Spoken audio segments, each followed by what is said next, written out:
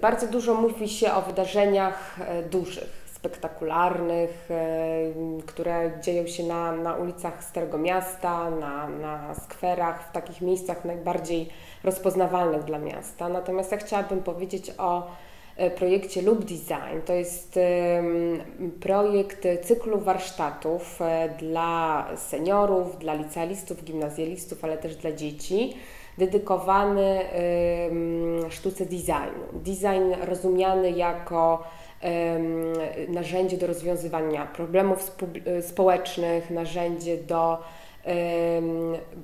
do poszukiwania kreatywności, do rozwoju wyobraźni i kreatywności wśród, e, wśród dzieci, wśród młodzieży, ale też osób starszych czy nauczycieli, którzy pracują z dziećmi.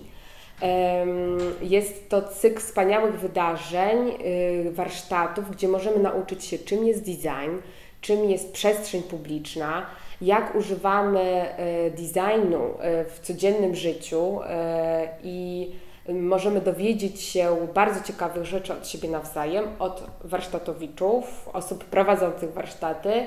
Możemy stworzyć coś z niczego i możemy zrobić to sami, na przykład różne elementy E, wyposażenia mieszkania z tektury lub też fajną portmonetkę z opakowania po soku, czy też e, zastanowić się, e, jak możemy zaprojektować przestrzeń wokół naszego mieszkania, domu, tak żeby była przyjazna nam, naszym gościom, który, których zapraszamy, ale też naszym sąsiadom.